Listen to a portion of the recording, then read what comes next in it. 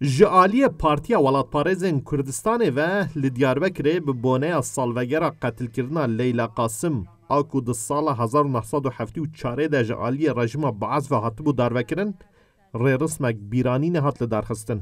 Leyla Qasim beriya ku were darvekirin, Li rûyê kujerê xwe nihêrîbû û Sirûda ey Reqîb xwendibû û ji ber vê yekê jî jinên Kurd ên beşdarî rêrismê bûyîn bi ey Reqîb dest bi rêrismê kirin. Di rêrismê de hat amajekirin ku Leyla Qasim nava remzên neteweyî de Remzek girîng û hêja ye.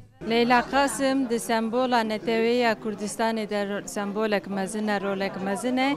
Gava jin, gava ku jin li doza Kurdistanê de feyde didin, ew doz bi qîmettir û bilindtir dibe di dilê me jinên Kurd de. Wek hûn zanîn îro salvegera darvekirina Leyla Qasim e.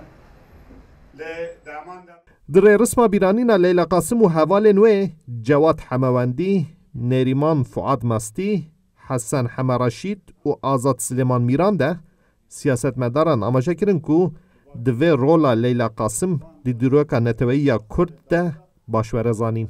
Leyla Qasim cara yekem e em bizanin wek jin dîroka Kurdistanê ya hatiye darvekirin ew e Ji bo Tevgera Jinên Kurdistanê ev gavekî girîng e û Leyla Qasim cihê wî bi taybetî cihekî girîng e. Divê her Kurd vî dîrokê baş bizanbe.